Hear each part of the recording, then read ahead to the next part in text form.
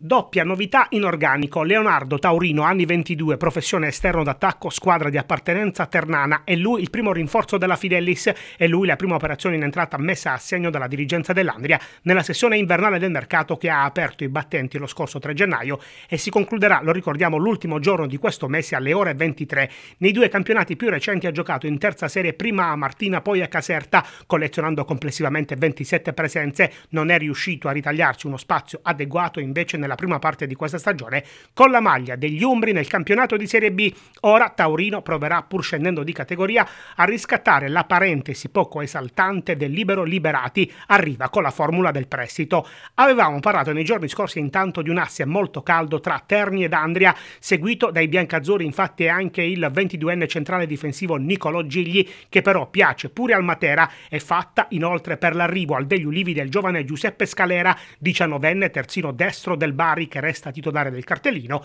seguito in precedenza anche da Bisceglie e Monopoli. L'ultima idea per il centrocampo biancazzurro intanto risponde al nome di Pietro Baccolo della Paganese. Gli elementi in uscita invece sono sempre i soliti, da Corcio, vicinissimo al Brescia, a Croce, anche se Papagni proverà a tenerlo in rosa, passando per Rada, Pipoli e forse anche De Giorgi, ma al momento ancora nessuna novità ufficiale. Il Bisceglie, per rinforzare il proprio reparto offensivo, sarebbe sulle tracce di Marco Dugan Manzic, 23enne croato, in forza al Matera, congelata per il momento la trattativa per il passaggio dai Lucani a Lecce di Nicola Strambelli, poco gradito alla piazza giallorossa, ma mai dire mai, sino al termine del mercato. In Serie D un gran colpo a centrocampo lo piazza il Cerignola, che si assicura le prestazioni dell'esperto Stefano Maiorano, uno che vanta quasi 200 presenze tra i professionisti.